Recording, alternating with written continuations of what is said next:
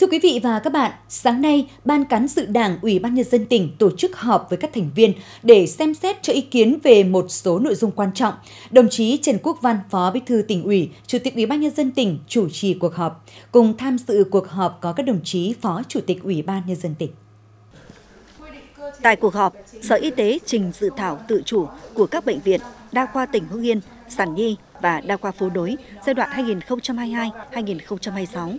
Sở Nông nghiệp và Phát triển Nông thôn trình dự thảo đề án phát triển làng nghề hoa cây cảnh gắn với du lịch nông nghiệp tỉnh Hưng Yên đến năm 2025, tầm nhìn đến năm 2030, kế hoạch thực hiện chương trình cơ cấu lại ngành nông nghiệp gắn với xây dựng nông thôn mới nâng cao, nông thôn mới kiểu mẫu tỉnh Hưng Yên giai đoạn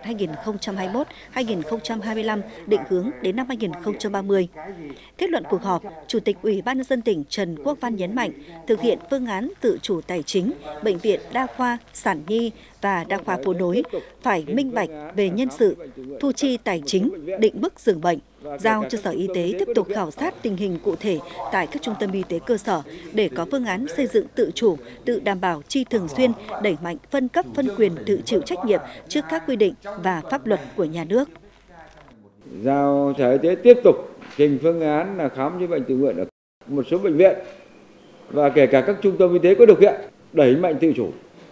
cho các đơn vị. Có con dấu, có tài khoản riêng, thì để trên cơ sở đẩy mạnh cái việc phân cấp phân quyền về tổng biên chế, về kinh phí, về các nguồn thu tự chủ nhưng hoàn toàn chịu trách nhiệm và làm theo đúng quy định của pháp luật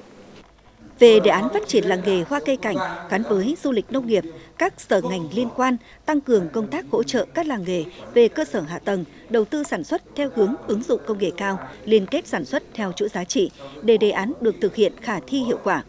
Về kế hoạch thực hiện chương trình cơ cấu lại ngành nông nghiệp gắn với xây dựng nông thôn mới nâng cao, nông thôn mới kiểu mẫu, định hướng đến năm 2030 Chủ tịch Ủy ban dân tỉnh yêu cầu Sở Nông nghiệp và Phát triển Nông thôn xây dựng lộ trình kế hoạch cụ thể hơn cho các địa phương, đồng thời tiếp thu ý kiến đóng góp của các đại biểu ngành địa phương để hoàn thiện kế hoạch trình Ủy ban nhân dân tỉnh phê duyệt.